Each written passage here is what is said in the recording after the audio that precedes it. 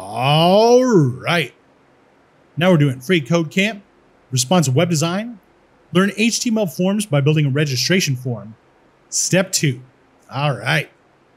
So below the doc type, we're going to add an HTML element with a lang attribute set to en so that we have a place to start putting some code. All right.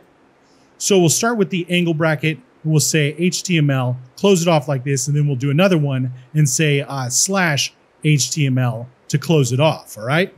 And then what we're going to do here after the first tag's HTML inside of the uh, tag, we're going to say lang equals and then quotes en like this. And this lang is just basically telling the, uh, what is it, like the search engines that the page is in English and not like in Espanol or I guess uh, French or whatever else there are.